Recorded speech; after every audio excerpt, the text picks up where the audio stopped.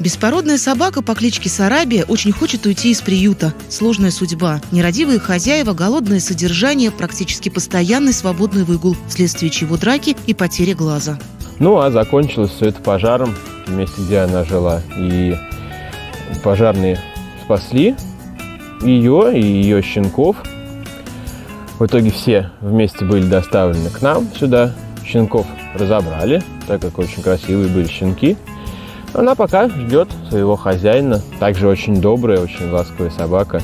Быстро привязывается к людям, небольшая адаптация, коррекция поведения для проживания в городских условиях, и у вас будет верный четвероногий друг. Сарабия очень хочет уйти из приюта. Звоните 8 927 686 07 90.